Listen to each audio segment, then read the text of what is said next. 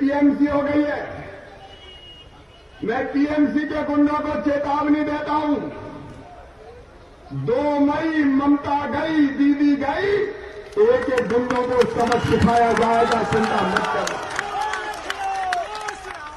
हमें टीएमसी के गुंडों को छोड़ना नहीं वाले ये आतंक का राज हिंसा का राज। ये जंगल राज। भारतीय जनता पार्टी चलने नहीं देगी। ममता दीदी बात करते माँ मानस माटी की। तुमने माँ को अपमानित करने का काम किया, बूढ़ी माँ यहाँ पीटी जा रही है। शर्म नहीं आती ममता बनर्जी